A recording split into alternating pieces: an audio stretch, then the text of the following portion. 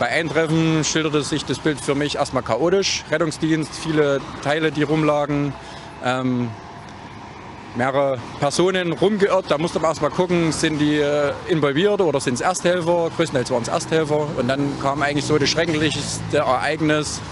Zwei Personen sofort ex, zwei hat der Rettungsdienst in die Reanimation genommen, was dann aber leider erfolglos war.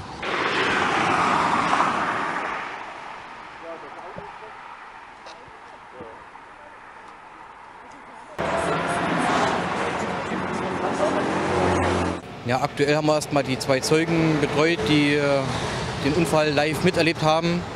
Ähm, Im Weiteren werden, es wird auch gerade noch ein Lkw-Fahrer betreut, der ja natürlich da vorne steht und alles halt mit anzieht, wie es ja, das Bild da vorne ist.